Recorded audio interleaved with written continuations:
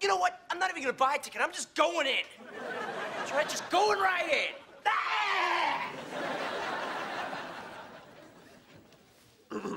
Security? We have a problem in theater seven. Male, Caucasian, sweaty, wearing a gray sweatshirt. So what's the difference between a hoagie and a submarine sandwich? I always thought a hoagie was a hot sandwich and a submarine could be served hot or cold. No, I think it's the other way around. Okay, Well, what's a grinder? Same thing as a hoagie. Hey, hey, let go, let go, Josh, Josh, tell him to let it go. Josh, Josh, tell him, tell him, let go. Hey, I know this guy, I know this guy. Ask him, ask him. This guy a friend of yours? No, he's not.